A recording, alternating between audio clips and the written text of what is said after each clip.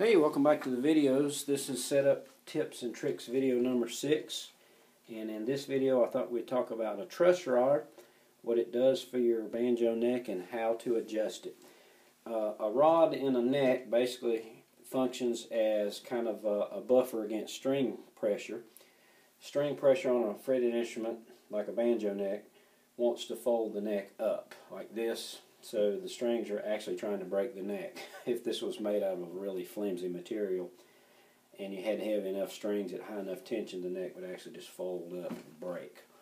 So it's kind of like a reinforcement rod, but it also serves another function. Not only does it help keep your neck straight, but it allows you to play around with relief. What does relief mean? Relief is a term that we use when we're talking about instruments to describe how much clearance there is between the top of the frets and the bottom of the strings. So when the strings are on the banjo, uh, they're you know enacting that string pull on the neck, and the neck wants to flex. So with the truss rod, uh, depending on the type rod you have in your neck, you can adjust the amount of bow in the neck. And why would you want to do that? Well, some instruments can play fine with a perfectly flat neck, or a neck that's in what I call the neutral position. So uh, if the neck was perfectly flat and you played it with your setup on your banjo and you didn't have any buzzes and the playability was fine, then you could live with a perfectly flat neck. Some instruments and some styles of playing you need a little more relief in the neck and you typically want, say if you're an aggressive player, you want the strings a little higher so you allow a little more relief in the neck to give the strings a little more room to vibrate over the top of the frets without buzzing. So there are two main rods that you'll see in banjo necks that have a rod, a single one-way rod and a two-way dual action rod. This is a RK36 uh, banjo that I have in the shop that's being worked on and it has from the factory a two-way rod. I much prefer a two-way rod myself, but some of the older instruments like the vintage uh, instruments from the turn of the century that had rods had a one-way rod. So what is the difference? Well, a one-way one-way rod, if I can spit it out, you would actually be able to tighten the rod only. So you could stiffen the neck, and we'll talk in a minute about what, what the adjustments do for you when you make them but you'd only have a one-way adjustment, which would tighten the rod. If you tried to loosen a, a one-way rod, it will just keep getting looser and looser, and eventually you would uh, de-thread the rod if you turned it far enough. A two-way rod, like most of the modern makers use, adjusts right and left. Now, what do these adjustments do? Well, this particular neck in this RK has a 4 millimeter uh, Allen set adjustment, which means basically that the there's a hole in there and you can see that there's not an actual nut like you'd put a wrench on, but a hole for an Allen wrench. Now, the two main types of bow that you can put in the neck with the truss rod is concave, convex. So if you imagine if you were sighting down the, the neck, if you use the uh, binding as like a straight edge, if the neck has concave bow, it will look like a smile you would have starting at about the second or third fret up to about 17 or 18 or so you would see kind of this like pushed in depression. The neck would actually sag in the middle. If the neck goes the other way it's called convex. There would actually be a frown look. The nut to here would look it would look like there was a hill or a raised area. Uh, which one is the best? Well there is no best but there are some extremes that you want to stay away from with a, any neck. You never want any sig significant amount of convex bowing. You don't want that hill because then the strings will actually just lay on the frets or if they don't lay on one fret it will definitely lay on some frets in front of it so you'll just have dead spots and buzzing everywhere. So having too much if really if much of any convex bowing, uphill bowing bad news for your playability.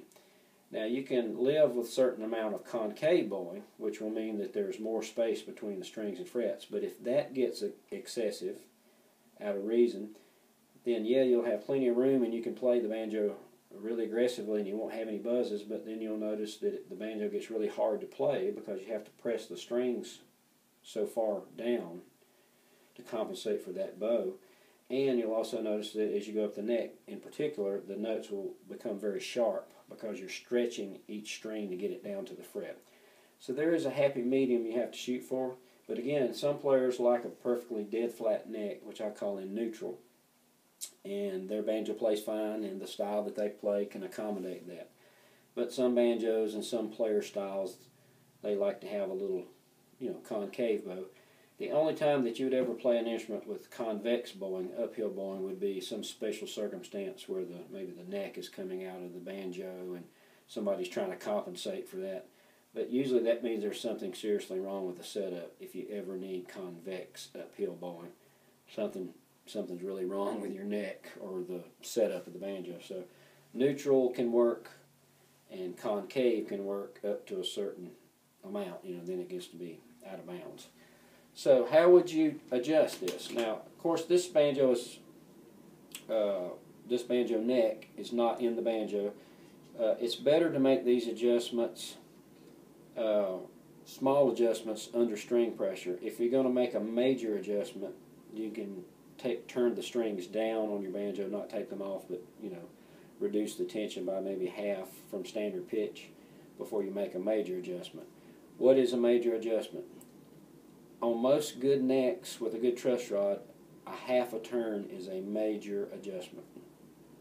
Typically, an eighth to a quarter of a turn will enact a significant change in your neck's uh, action. So, if you know if you encountered a banjo where you had to turn the rod one complete 360 revolution, that something's going on with the rod or the neck, because that's a lot in a typical made. In a well-made neck with a with a rod that works the right way, a dual rod, it turns both directions. One complete turn is a tremendous amount, so you should never really need to turn a rod more than that unless there's something else going on that you know we'll, we'd have to discuss in another video. But this is a two-way rod, so I'll insert this into the hole in the rod. Now, if I turn right, remember the old saying that they taught you in mechanics class, righty-tighty, lefty-loosey clockwise, if you're looking at this wrench is the face of a clock, say my hand's the face of a clock, 1, 2, 3, 4, 5, 6, 7, 8, 9, 10, 11, 12, clockwise, if you count backwards from midnight this way, left, it's loose. Now every two-way rod has a neutral position. So if I put the rod in there and I start turning either direction, after I turn right so far, I'll encounter resistance. That's where the rod is just starting to put some uh, tightening on the rod. If I continue to tighten this, say there's a quarter of a turn, that's about a quarter, then I am actually putting convex bow in here. The rod is getting so tight that the neck is raising in the middle section here. It's going uphill, which again, you typically don't want. So on this particular banjo, I'm noticing that about a half turn, that's about max. I don't think I would want to attempt to do that anymore. And of course I have no strings on here so I can do a little more turning because I have zero tension on the neck. If you have your banjo strings on and you're going to make a small adjustment, say an eighth to a quarter of a turn, you can leave the banjo tuned to standard pitch. That's fine. But if you're going to try to attempt to turn the rod, say a half a half a revolution of the rod, you should tune it down probably. So that's about max on this banjo. And sighting down the neck, right here from behind, I can see I'm putting a pretty sizable convex uphill bow in there, which we don't want. So what I'm going to do is release that tension, and then all of a sudden, the rod is loose. So I'm in the neutral position. There's no tension on the rod. Now again, if I had strings on here, that neutral position might change because, you know, the neck's flexing under tension. So neutral might not be in the exact same space. But I thought it would be easier to show you these adjustments without the banjo being on the workbench. The rest of the banjo is actually, the, I'm refitting a tone ring for this pot assembly. But now if I go left, which is lefty-loosey, I'll go so far and then I'll start to encounter tension. So after about about a quarter of a revolution there, I start to encounter tensions. That means I'm actually exerting a downward force on the rod now. If I continue to turn this, that's like almost a half a revolution, almost you know 180 degree turn to the left. I'm actually putting concave bow. I'm actually pulling the center of the neck down, so I'm putting that smiley face bow in there. If I need more than that, see the wrench is going to hit my peg head here, so I don't want to scratch the finish. So what I do is remove the rod, come back up to the 12 o'clock position, and now I can exert even more. Now that's about a half a turn or even a little more. That's all I would want to put in that neck. I can tell by the tension.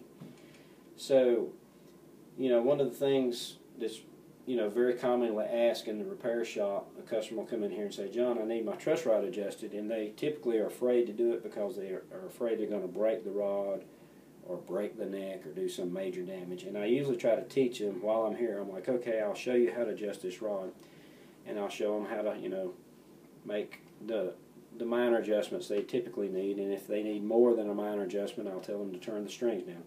You won't break this rod unless you really go crazy with your adjustments. So if you put the, the wrench in there, you know, and you just started turning and turning and turning and turning without paying attention to how much tension you're putting on the rod, you could break the rod I doubt you would really seriously damage the neck. The, the rod would probably break first. But breaking a rod would be like a couple hundred dollar repair job at least for most repair guys. But again, you're not going to break the rod unless you just go crazy. Like I said, for most rods on properly built necks, an eighth of a turn to a quarter of a turn is a minor adjustment. Half of a rotation is a major adjustment. So if you had to turn the rod 360 degrees, which I would not recommend for most well-made necks, that would be a huge adjustment. So we're talking about an eighth to a quarter for most minor adjustments, maybe half of a rotation for you know a major adjustment. Anything over half, I would be shy about doing. And at any point, if you're not comfortable doing this, you just even after watching this video and you think you understand it, but you just don't want to do it, that's fine find a you know qualified person who knows about a truss rod to adjust it for you. But I try to teach most of my customers how to do this themselves so they don't have to bring it all the way to me and pay me to do this. This is part of routine maintenance for a fretted instrument with a rod. Now if you had a one-way truss rod, it's pretty easy to tell because you could tighten the rod, you could go righty-tighty, you could go this way clockwise and you'd encounter resistance. But then if you start going to the left, all of a sudden the rod would just turn and turn and turn and you would never feel it tighten the other way. That tells you you have a one-way rod. And you shouldn't turn a one-way rod too much to the left because you could actually de-thread the rod. The nut, you know, could actually come off and then you'd have to go to the trouble of putting it back on. Now some truss rods like Gibson Banjos and some of the other makers use a quarter inch nut so the slot in the neck would accommodate you know, something small like a socket wrench. I like to use nut drivers. And you would place the quarter inch nut driver inside there. Some other banjo makes like Vega, some of the turn of the century uh, jazz banjos had different size rods and the nuts were larger than a quarter inch. And some of the foreign made banjos I've seen have a nut to adjust, but it's a metric, you know, like 5 millimeter, 4 millimeter nut. Uh, but this is a quarter inch nut driver which will work on most you know Gibson style banjos. So again, the rod is trying to keep the neck at the amount of bow that you like. You could leave it dead flat, which is neutral, or you could put a little bit of concave, which is that frown downward bow, to give yourself a little extra room. But try to stay away, if possible, from any convex uphill bowing. That's usually a no-no.